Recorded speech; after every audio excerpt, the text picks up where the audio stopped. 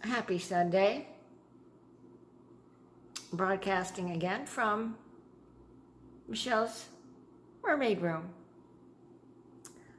And I just thought I would let you know, yep, everything is still alive.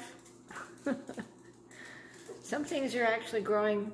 Um, I had some bulbs come in and I think this is that like tiger lotus, but it's they came out as very skinny, long, look like roots, and then these leaves unrolled, but they're very, they're not really big, but they're getting bigger every day. so, um, plants are looking good. I did place an order. It'll come next week. So I'll be, uh, we'll be seeing more angelfish and some big long um, like I think it's called Vala, it's a really long, tall grass. Let's face it, this aquarium is two feet tall. So I can have very long, tall grass in here and it'll be cool looking. Um, so I just thought I'd give you a little peek. I had also added some of the plants that I had actually everything most most of the plants that I've added in here since you saw this the last video are plants that I had in this tank when it was set up as a paludarium. And it had a very shallow water.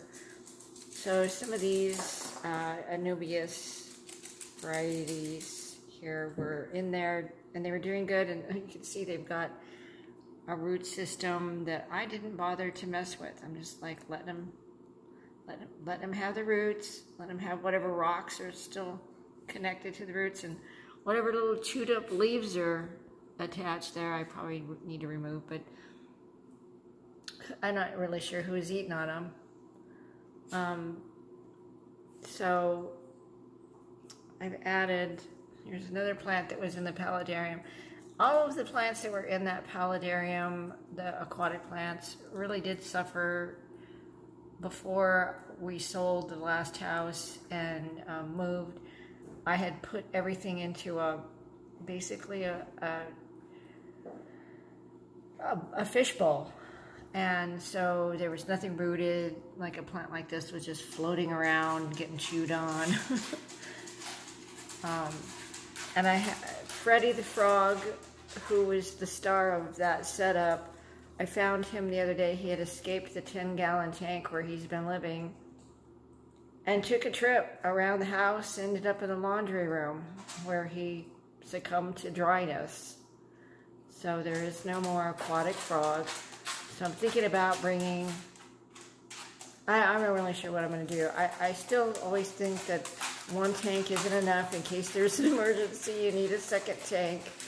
And my second tank is this project over here. It's a, it's a 10 gallon. So I had plants that were set up in a paludarium. You might recognize the Red Sea Reefer uh,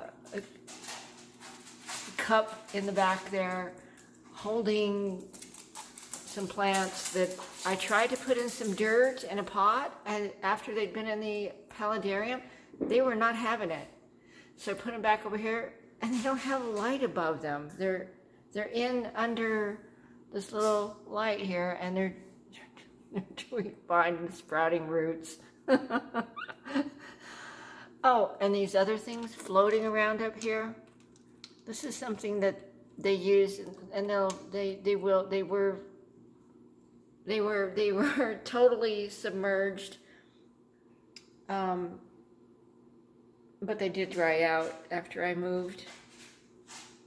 Um, a lot of shrimp in here. They use these in oh, hydroponics. It's very clean. You know, it's not. It's it's kind of a clay, but they're they don't fall apart. You can't even. I guess with a hammer you could break them up. I never messed with them. They're these these round clay type of material that you do hydroponics with. And basically a paludarium in a lot of ways can be a hydroponic farm. So I've got a whole bunch of it. You see all down here. And this is some of the old substrates, some of the plants that were in the paludarium, and a bunch of shrimp. And this is where Freddie lived. Freddie the aquatic frog. I think he got bold one day, crawled out on one of these stems of this plant, most likely. And uh, took a trip around the house and did not survive that trip. um, yeah, I still, I still am not sure where I'm putting all my stuff. I, all I know is that I needed to have a tank with water and fish.